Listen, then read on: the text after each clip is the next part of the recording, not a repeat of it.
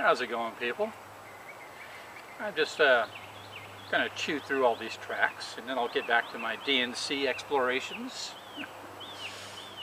uh, anyway, we got Christian tract that's going to teach us all about freedom. Isn't that rich? There are many holidays in America that are celebrations of freedom freedom of speech, freedom of religion, freedom of assembly, and freedom to do just about anything you wanted to. Eh, slippery slope there, huh? But are you really free, huh? Yeah. The Bible says that we are slaves. Slaves to sin. And that you can hear about that in like Romans 6, 15 through 22. What is sin?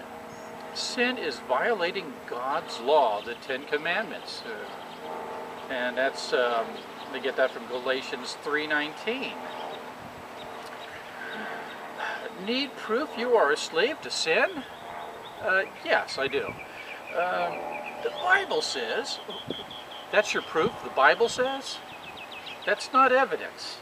That's not proof of anything except that the Bible says something. The Bible says you shall not bear false witness. In other words, you shall not lie. Oh, we're in Ray Comfort territory now, aren't we? How many times have you told lies in your life? How about stealing? Have you ever taken God's name in vain? Maybe once or twice. oh, I just lied. um, Jesus Christ. How'd that happen? God damn it. Um, have you ever looked with lust and the sexual desire in parentheses in case you don't know what lust means? I do. Uh, at anyone you were not married to? The Bible says, Whosoever looks upon a woman with lust in his heart has already committed adultery with her in his heart.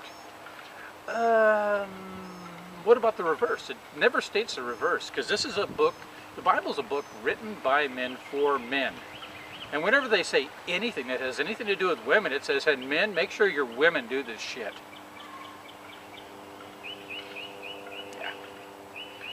Yeah, so anyway, that's a hobby I actually enjoy, looking with lust. yeah. So I'm only guilty of thought crimes. If you are guilty of these, then you are a slave to sin and enjoying every minute of it.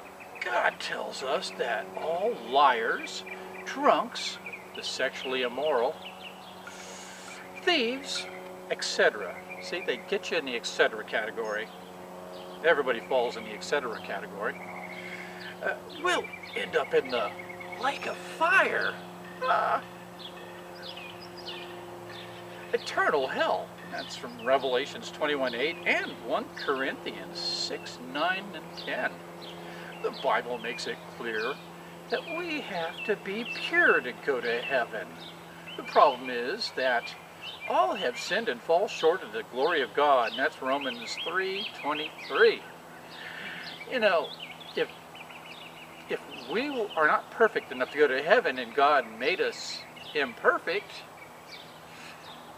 whose fault would that be if all this shit were actually true? Hmm? A few verses before that, we also find these condemning words. There is none righteous, no, not one. There is none who seeks after God. There is none who does good. No, not one. In fact, the Bible says, as far at, wait, for as many as are of the works of the law are under the curse. For it is written, Cursed is anyone who does not continue in all things which are written in the book of the law to do them. And that's Galatians 3.10.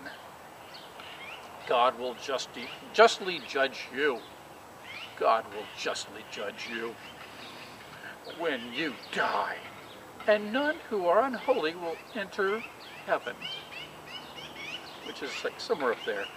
Um, as Hebrews 9.27. We have to be holy to go to heaven. there is hope. Good. God lowered himself to become a man, Jesus Christ.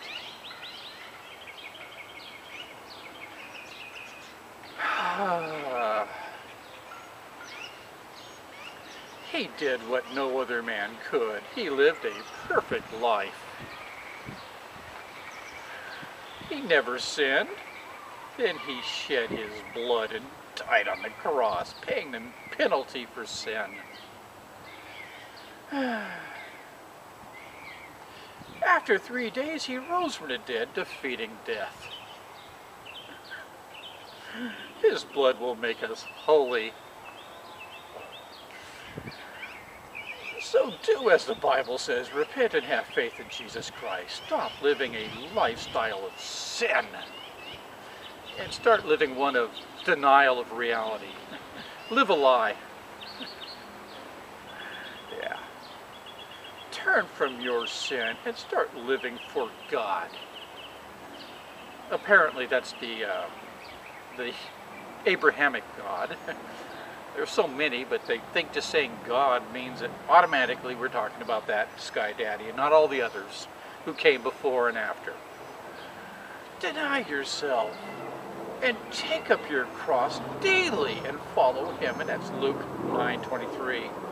Humble yourself. Realize you are created to glorify God. If God is all powerful and all glorious, and we're so such filthy rags and so inglorious, that doesn't really make any sense then, does it? No, we were created to kiss God's ass. That's how you glorify him. No wonder he's always showing his backside to Moses. his hindquarters. Um,